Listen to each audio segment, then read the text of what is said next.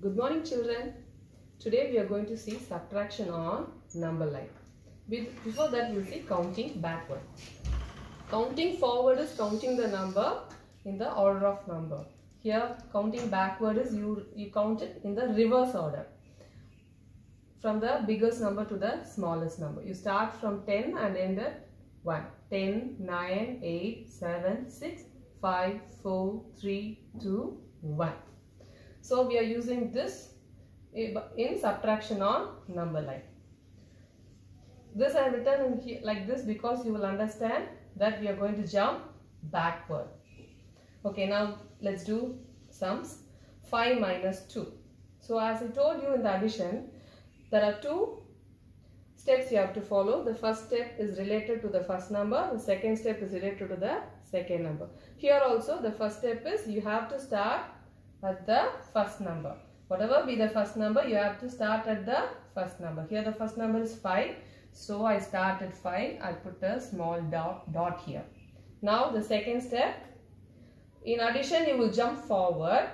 But in subtraction, you will jump or count backward the second number of times. Whatever be the second number, that much time you have to count backward or jump backward. So the number is 2. So you have to count backward 2 times. So 1, 2. You just put a small arrow so you will identify the answer. So the answer is 3. 5 minus 2 is 3. Now the second sum is 7 minus 5.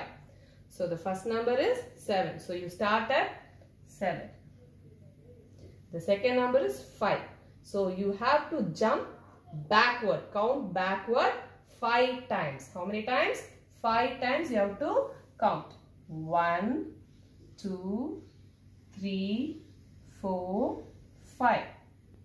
So the answer is 2. 7 minus 5 is 2. Now third sum. 8 minus 3. The first number is 8. So you start at 8. Keep a dot. The second number is 3. So you have to count backward 3 times. How many times? 3 times. One, two, three. So you reach 5 and this is your answer. Understood children? Next, we'll be seeing subtraction by drawing lines and crossing out. Okay, here in addition you, you will draw lines for both the numbers but in subtraction you will be drawing lines only for the first number and you will be crossing out the second number. Second number, how many number is there? That much lines you will cross out. Okay, we'll see it with this sums. 5. The first number is 5 so I will draw 5 lines. 1, 2, 3, 4, 5. The second number is 2. So I have to cross out 2 lines from this. Okay. I've already drawn 5 lines now. In that I have to cross out 2. 2 lines. 1, 2. Now we have to count the lines which is left and that is your answer. How much is left? 1, 2, 3. Okay, now the second sum. 6 minus 4. So, first number is 6. So, I'll draw 6 lines. 6. Now, I have to cut 4 lines. 1, 2, 3, 4. So, how much line is left? 2. 1, 2. So, the answer is 2. 3 minus 1. So, the first number is 3. So, I will draw 3 lines. The second number is 1. So, I will cross out 1 line. And how many lines are left? 1, 2. So, 3 minus 1 is 2. 8 minus 3. First, I will draw 8 lines. 3, 4, 5, 6, 7, 8. Second number is 3. So, I will cross out 3 lines from this. Start from the back side. Okay, 1, 2, 3. Count the leftover. 1, 2, 3, 4, 5. So 8 minus 3 is 5.